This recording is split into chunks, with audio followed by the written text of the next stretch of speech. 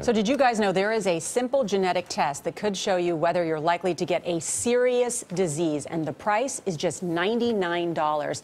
It is the brainchild of Anne Wojcicki. She is the co founder of 23andMe. Wojcicki is featured on the cover of the November issue of Fast Company magazine, which calls her the most daring CEO in America. 23andMe says they have a simple but powerful idea that genetic testing can make all of us healthier. By spitting into a cup and sending in a sample for testing, users can find out about more than 250 health conditions and traits.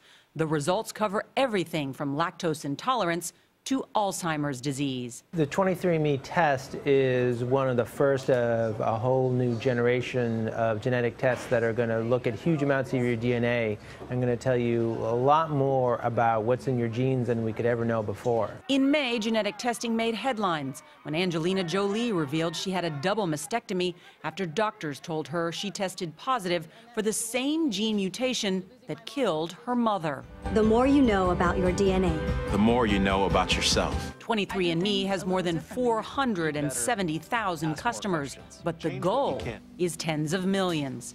The company wants users to be able to share their genetic information with researchers. The idea is that medical research can then be crowdsourced.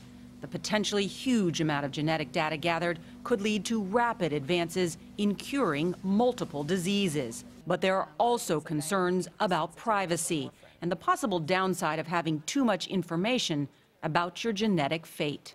I think people need to approach this with their eyes wide open, understanding the risks, but willing to learn because this is the direction that medicine is going to go in the future.